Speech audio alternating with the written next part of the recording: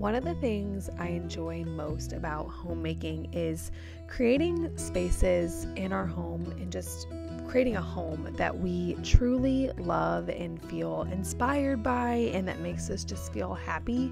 There's this line in a movie that I used to watch that basically the girl said, I have a house that you used to read about in storybooks, the kind that whenever you flip the page, it makes you feel happy. And that is exactly what I want our house to be. I want it to be something that where you come in and just like, oh, that makes me feel so happy. And I feel that we have done a good job with that. And it's just something that me and my husband, and hopefully our daughter, one day, whenever she can have an opinion, will absolutely love and feel inspired by. So that is definitely one of my favorite things about homemaking. Now, I personally find it very hard to feel inspired and just good. I feel find it very hard to feel good in a space that is not very tidy and very clean. So that is my mission today. Obviously, I'm going to start the day with coffee. We start every single day with coffee cuz you already know. And so, my mission today is to make our kitchen organized and clean, and we will be bringing in a new appliance. So, I cannot wait for you guys to see that because it's so fun. I'll tell you the story about it. But, anyways, this clean out starts with our coffee cabinet. I actually recently did this cabinet already, so I don't have a ton to get rid of, but we just have tons of like mugs that we don't actually use that we just kept because they're nice, which is like never a good excuse to keep something. It's never a good excuse to keep something that's just like, oh, I this was nice, so I'm keeping it. That's dumb. We don't actually use them. So I'm getting rid of those. I'm getting rid of other stuff that we just don't use. And so I'm trying to make this less overwhelming of a space where the drawer actually closes and it's just not like we don't lose stuff constantly in this cabinet, which was what was happening before. And so that definitely needed to get cleaned out. And once I wrapped that up, this video actually took place on two different days. Once I wrapped that up, I started to clean out our brand new appliance. So if you scroll back to the front of this video, you'll realize, or you'll notice, I guess, that this was a brand new fridge um, in this spot before and now it's a fridge from the 1960s. So, obviously, I'm gonna have to explain that to you guys because you're probably thinking that I'm insane, and you could be right. But basically, the other day we were shopping at an estate sale and I found this fridge, this yellow General Electric refrigerator from the 1960s. It was dated on the back, it said 1961, and it is in honestly great condition. It holds temperature really well, and it just seems so nice. And I just thought, oh my gosh, I have to have that for our lime green kitchen. Like, a yellow fridge. Are you kidding? And it was really, really reasonable, like super cheap. I think we paid like 150 bucks. So come on, like had to have that. So the next job for this week was to get the fridge inside, which was no small task. It was very, very heavy. And get it totally cleaned out, wiped down. You know how it is when you buy a new fridge, you want to like wipe down the whole thing and swap over all of our food from the other fridge. So I still had a little bit of food in this fridge um, just because I can't really remember why. I think I just like left it on the counter and got it in as quick as I could. Um, so I'm emptying out. I started by emptying out this fridge, even though a lot of this is going to end up going downstairs because we've we've always had two refrigerators and a deep freezer. It's just the best way for us to organize all of our food, um, which is probably another video for another time.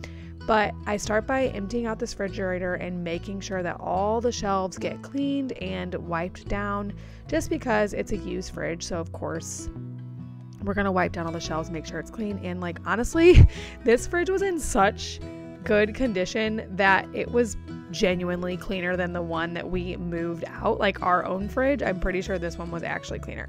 So I was really thankful to find that this shelf was able to come out. The other really cool thing about older appliances is that all the shelves and the glass, like all the shelves, and I guess that's another shelf, are metal and glass. They're not plastic. So I just truly love old appliances because one, I, am not trying to be the person that's like, back in my day, they were made better but it really seems like they were made better, guys. Like, they're so simple. Look at all of this metal inside, and the best part is that the shelves swivel out. Look at this. Can you even believe this? And they're all metal, so they're not going to break. They all pull out, which is such an awesome feature. I do not know why we got rid of this in fridges nowadays. It's just the coolest thing. So, obviously, I'm making sure that everything's clean. I'm cleaning inside the drawers and I'm going to clean underneath the drawers basically so that they can so that just so we have like a really clean slate to work with, which is always nice. I love old appliances not only because it really truly does feel like they are made better, but also because they are so simple that it just feels like they can't break. Like this fridge, obviously, it was in the 1960s, does not have the tech like a Wi Fi enabled anything or nothing like that, like that new fridges have. There's no motherboard. I was actually researching the most expensive thing to go out on a fridge and it said the motherboard. And I was like, oh, this doesn't have a motherboard. Therefore, it's gonna be like, it's just coils and refrigerant. You know what I mean? So it's just, they're so much simpler than they used to be. And therefore, they just don't go out as quick, which I absolutely love.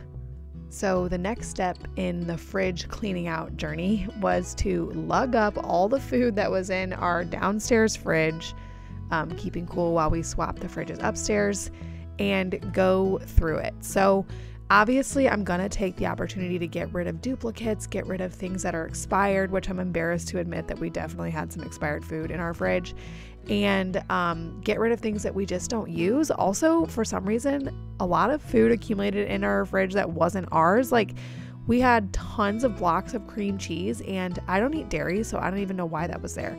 So, I'm just going through things that just we don't need, is expired, we don't even know where it came from and just getting rid of all that kind of stuff. It's so nice to go through your fridge every once in a while, even if you have to do it while holding a baby sometimes, of course. It's just so nice to get rid of things you don't actually eat and just things you don't actually use. Right now, I'm separating things that actually go downstairs. Like, we don't keep our fryer or duplicates in the upstairs fridge. We actually never have, even though this fridge is a little bit smaller than our last one, we still didn't keep it there. So, I'm just doing that first and just sorting through all the condiments and all that kind of stuff so that we can make sure we start out with this fridge being super tidy and organized from the very beginning.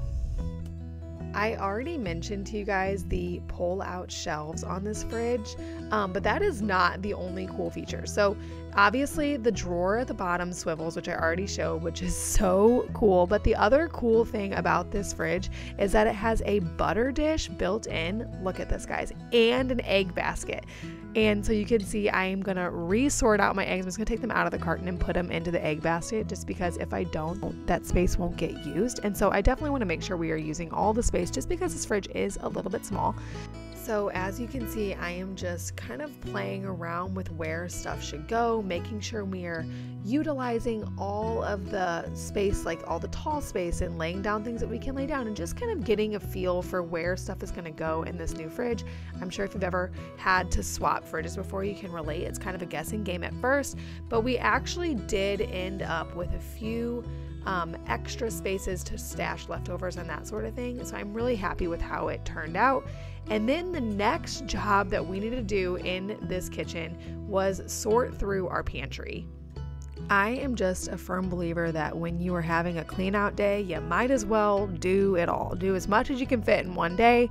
So I started with more or less the same approach in the pantry as I did in the fridge, which is just getting rid of things we don't actually eat, things that might be expired, and kind of just pulling almost everything out. I did decide that the things in our doors, which you can see like the spice cabinet, uh, nothing out of those needed to come out because it was all went through pretty recently. But pretty much every other thing came out of the pantry, and I went through it and I made sure that we used everything and just kind of like we just had stuff stashed in the most random of places. And so I wanted to try and get rid of that absolutely no shame here. I did lose steam halfway through this job and I went to the thrift store because those jobs can just get so tedious. So let me show you what I got. I got this cute espresso shot glass. This thing, I think it's a candle holder, and these two copper bowls. I'm planning to make candles out of them. So, okay, back to the pantry after my thrift store jaunt. I'm just repackaging up some stuff that I think needs to go in containers. We've never been a big container house, which is honestly the reason why I went to the thrift store in the first place was to look for containers. I didn't find anything as you saw. And so I just decided to use a couple containers that we actually already had on hand that I found in an upper cabinet to pack up things like rice and flour. And from there, it's honestly just kind of like a game of Tetris to get everything in our pantry. As you can see, or as I'm sure you've already saw, our pantry is kind of unique in the sense that it has like two doors where you can fit some stuff and then two swingy outy cabinets. I don't really ever know what to call these things. And then two sections in the back. The one downside to a pantry like this is that there's no huge spaces, and so we have to be really strategic in the way that we stack stuff up and put stuff in. And so getting our pantry loaded in is honestly kind of like a game of Tetris, but I do love that our pantry takes up such a small footprint in our kitchen and honestly holds so much. So that's super handy. I don't know who designed it, but I do like it. It just does feel a little bit like a game of Tetris to get everything back inside of it whenever we pull everything out. Even though it is such a big job to go through the pantry and the fridge and all those sorts of things, I just find it absolutely so worth it to take the time to make our kitchen efficient and clean because we do just spend so much time there throughout the day. And so it's just so worth it to have a stocked and clean, efficient pantry and fridge. One feature that I forgot to point out earlier was the foot pedal. See, it opens the door. Isn't that cool? I just cannot get over this thing. Anyways, thank you so much for joining me as I created a clean and efficient space for our kitchen, and I will see you guys in the next video.